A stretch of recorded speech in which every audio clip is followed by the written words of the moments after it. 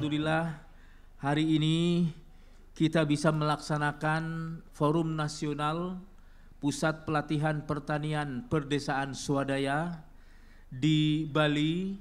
Alhamdulillah dengan lancar. P4S ini juga ya, selain dia sebagai pelaku utama atau sebagai petani dalam konteks ya secara arti sempit tetapi juga P4S ini menjadi pelaku usaha Pak Menteri. Karena semua P4S memiliki keunggulan di dalam agribisnisnya.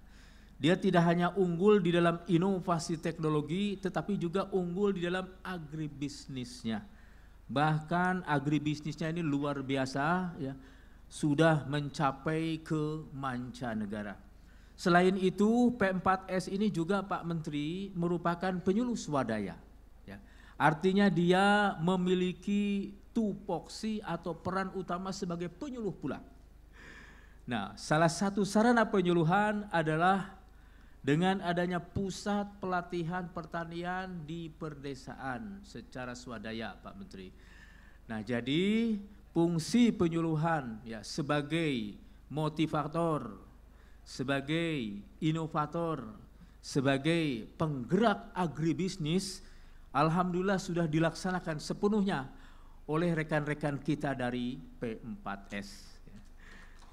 Bahkan kami laporkan pula Pak Menteri Pertanian, ya, P4S dari seluruh pelosok tanah air ini dengan fungsi utama sebagai pelaku utama, sebagai pelaku usaha dan sebagai penyuluh swadaya siap menjadi pusat gerakan pembaharuan pedesaan di lokasinya masing-masing.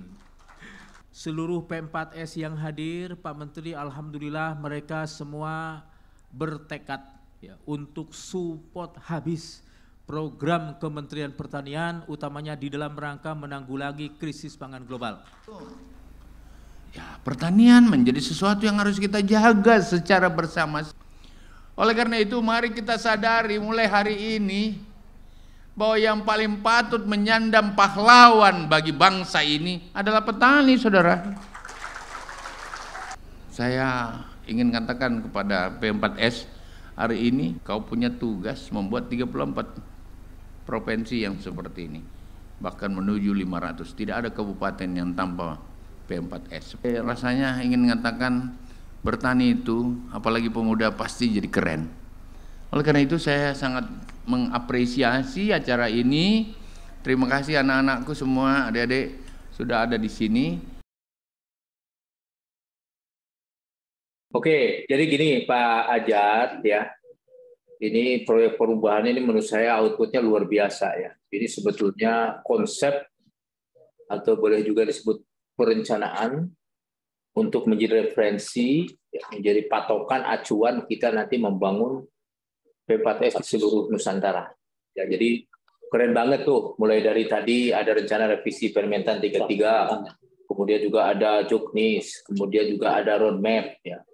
Kemudian juga ada yang lainnya. Pokoknya ini mantap semuanya nih Pak Ajan. Ya, coba memang.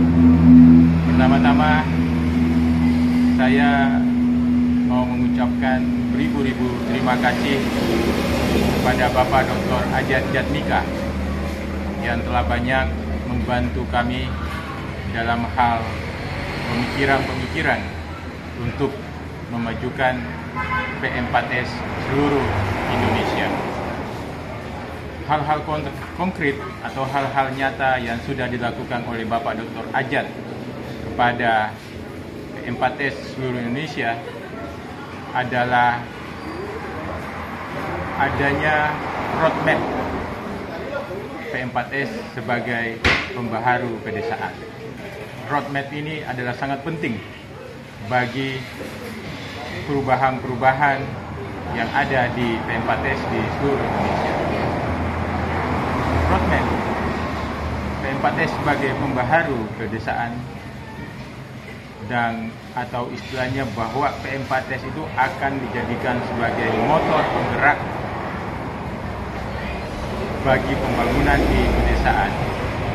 Karena P4S bisa berfungsi sebagai uh, pemberian pelatihan-pelatihan, pemagangan dan juga bisa mencetak atau menumbuhkan petani-petani milenial yang ada di pedesaan serta bisa mengelaborasi uh, teknologi-teknologi seperti teknologi produksi pasca panen dan teknologi-teknologi lainnya. Roadmap pembaharu pedesaan ini yang di uh, yang diinisiasi oleh Bapak Dr. Ajat memberikan uh, kerangka berupa tiga bagian yaitu ada penumbuhan, pengembangan, ada penumbuhan, penguatan dan pengembangan. Ketiga hal tersebut inilah yang sangat penting yang perlu kita perkuat dalam memajukan P4S di seluruh Indonesia.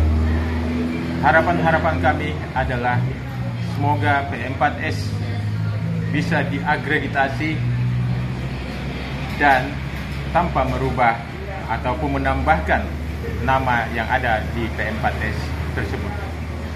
Saya rasa itu yang bisa kami sampaikan bahwa apa yang dilakukan Bapak Dr. Ajat Jatmika terhadap pembaharuan pedesaan atau pembaharuan P4S ataupun juga terhadap perubahan-perubahan P4S untuk menjadi lebih baik dan maju adalah sangat luar biasa.